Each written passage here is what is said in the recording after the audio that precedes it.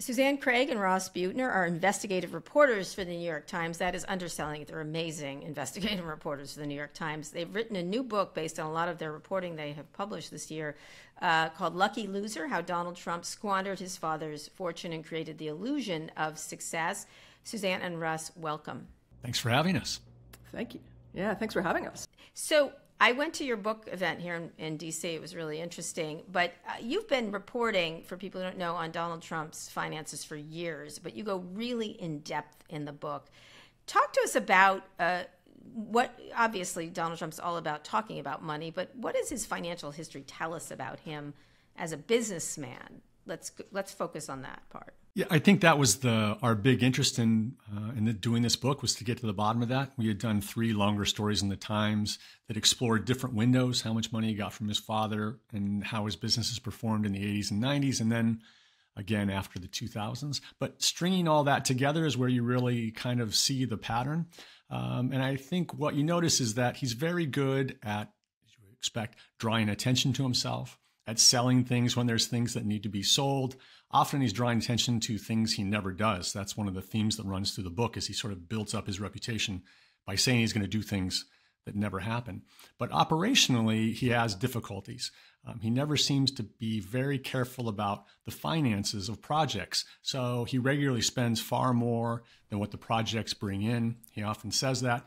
And then he needs money from other sources outside of his business operations to support those businesses. And what we saw right, so was a bit of a Ponzi scheme. A little bit. You see his inheritance filling in the holes, and then later the fortune from The Apprentice uh, really filling in a lot of holes as well, and sort of sustaining this image that he's a powerful businessman when he's really having problems that he's hiding from public view. And Susanne, talk a little bit about how you went about this reporting, because you've been doing this for a long time. Right, and, and, like Ross said, we, we had a number of stories at the Times. There's kind of three three big ones. We've been covering him since 2000. It's hard to believe we're coming up on nine years of this, but says every journalist I think covering this guy. Um, and then we decided after the 2020 story, it was a big story we had where we got decades of his corporate and personal tax returns. You know, we found out in that that he wasn't paying much income tax ever. Um, we also got an incredible window into how much he'd made from The Apprentice. So we laid that out, and then Ross and I had a conversation, and, and we realized we had a, I think, you know, we call it a skeleton for a book, but we really saw this as an epic American tale, and we wanted to tell it, and we wanted to delve further into his father. We were really intrigued about his dad from the reporting we did, you know, while we were at the paper. Um, and then we wanted to just learn more about Fred and see that impact that it had had on his life, and then re explore Donald's life because I think there's just a lot of misconceptions that were out there. Some of them were laid down by him early on and just repeated over and over and over. And so, you know, when we decided, Ross and I had a chat, and, and Ross took a, very heavy lifting on the writing. He's a beautiful writer, and um, we worked together, and I did a lot of the reporting. So we just spent a couple of years just full at it every day trying to get this together. Before I bring in said, talk about the role of father, Donald Trump's father. This is Fred. Um, talk about his role and influence because he was a pretty good business person. In this case, he was as a you know as a not a small time developer, a pretty big time developer in New York, which is a tough market. Yeah, I mean it's it, it's an amazing arc to his career. He really was the self-created person, businessman that Donald Trump's always said that he was. Um, and he started out just building like garages in the up and coming neighborhood in Queens where he, where he grew up. And then over the course of the next like 40 years, he really benefited from some of the big programs, uh, the government programs to solve the biggest crises of the 20th century. First, the Great Depression, then finding building housing for soldiers during World War II, building more housing for veterans when they got out, and then a couple of programs to sort of build up housing for middle income people later than that. And he built up this colossal empire of 10 to 20,000 sometimes apartments that were rentals. He never had one, except for a couple outside of New York City, that didn't make money.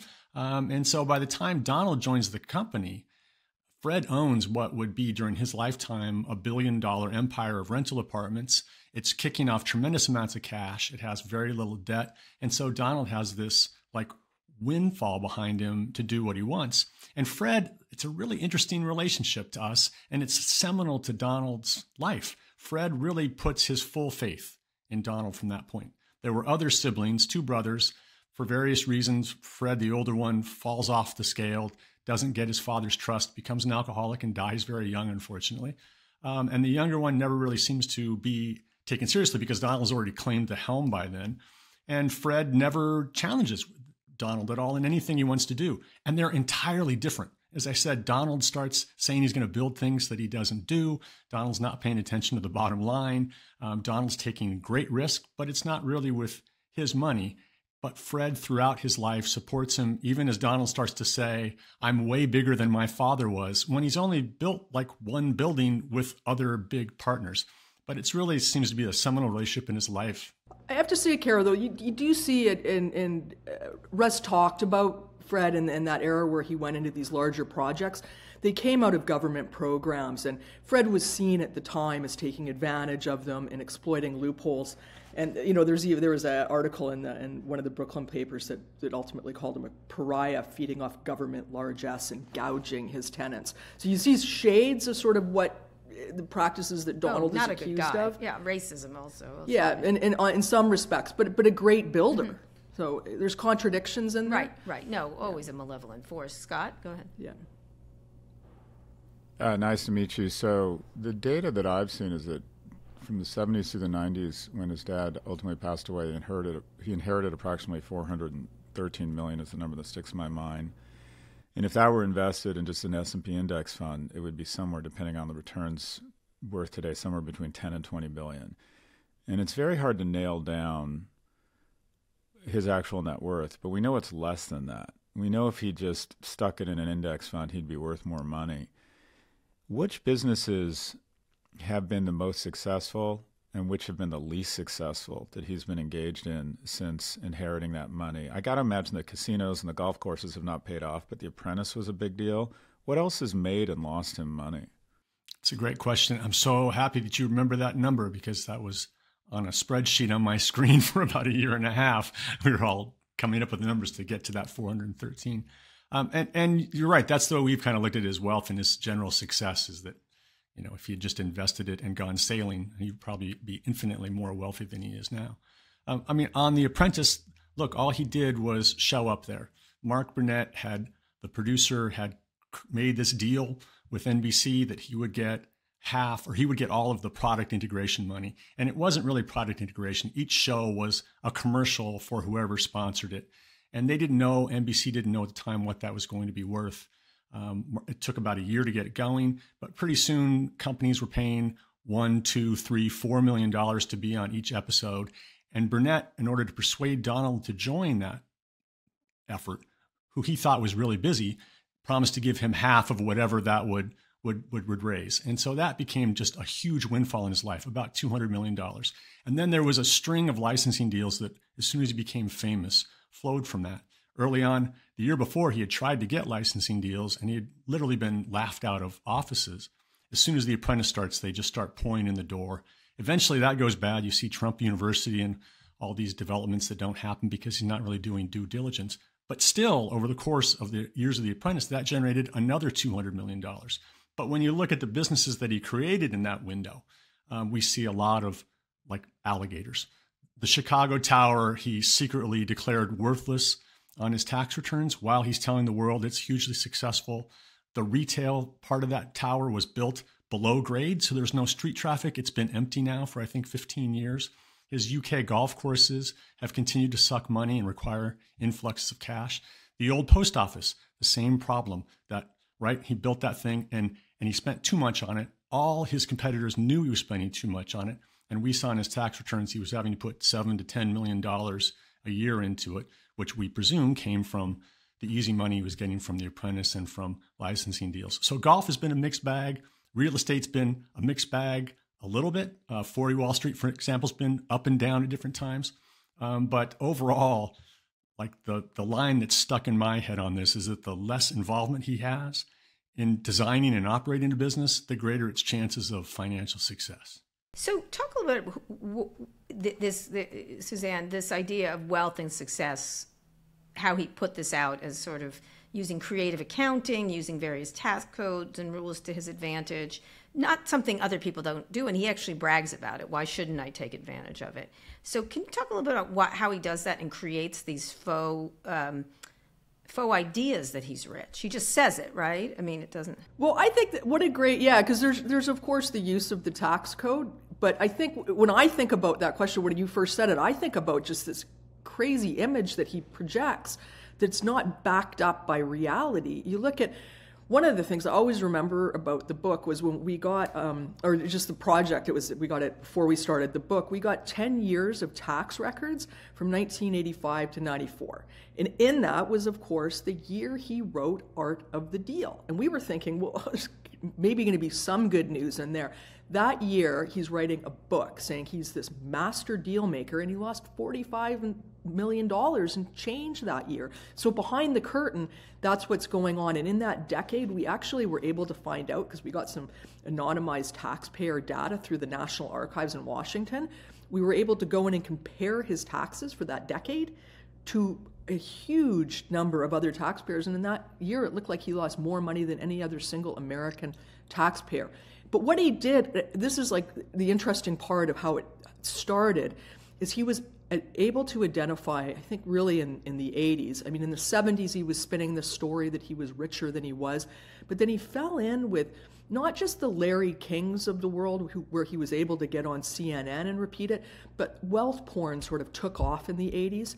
And you saw him on shows like Lifestyles of the Rich and Famous with Robin Leach. And and he had he had the accoutrements of success. So he's flying around in his helicopter. He was on his yacht. He was losing a lot of money. We we know that now from his taxes. But they loved him, and and not a lot of really rich people wanted actually to be on that show because it's sort of tacky. But but he was all in, and it and it perpetuated this idea that he was rich and then he was getting on the rich lists and all that. I mean, it really did feed on itself. But he started in the early 70s by lying about his wealth, famously to the New York Times, saying he was worth a couple hundred million dollars. Actually, his dad was. And then it just rolled up and kept the number kept getting bigger and bigger. One of the things I really appreciate about, appreciate about your work is that you both really did the work. Reading through uh, some of your work, I just can't imagine how much time you were in a conference room with bad coffee trying to string together tax filings and really connect the dots. Really do appreciate that you did the work. And also that the New York Times would support you or support provide you with the resources to do that kind of in-depth work. My question is around Donald Trump media. 80 million shares, 23 bucks a share, you know, one whatever is that, 1.8 four billion worth of, of value in those shares. My understanding is he hasn't sold any, and that would come up on a filing if he had sold them. But if I were him, I would be writing calls, I'd be doing prepaid variable forwards, I would be borrowing on margin like crazy to diversify. Do you have any sense of or any evidence around what he is doing to diversify, that shares. monetize, that those shares? Uh, uh, but you left out run by that well-known tech executive, uh, Devin Nunes. But go ahead.